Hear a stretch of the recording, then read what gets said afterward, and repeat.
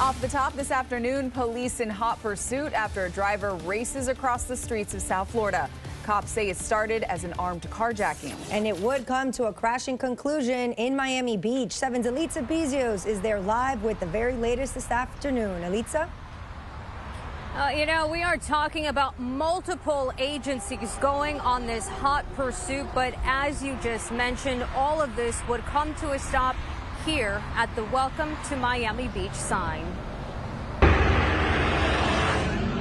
QSL eastbound 54th Street, Biscayne. A hot pursuit happening in Miami-Dade as an alleged getaway driver in an armed carjacking takes police on a chase. All units are going to be behind the white BMW, aviation's overhead. Part of the chase caught on cell phone video seen on Only in Dade's social media pages.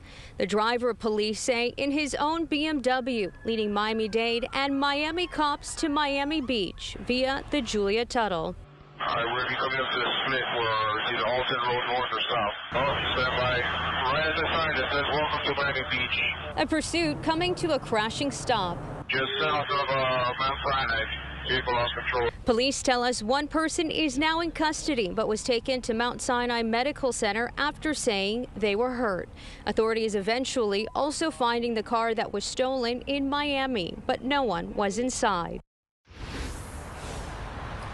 So obviously, because there were more than one, there was more than one car involved in this, police are thinking at least one other person, if not two, were also involved in all of this. So they're asking if you know something, saw something, to give them a call. Right now, we're live on Miami Beach. Elitza Bezios, 7 News.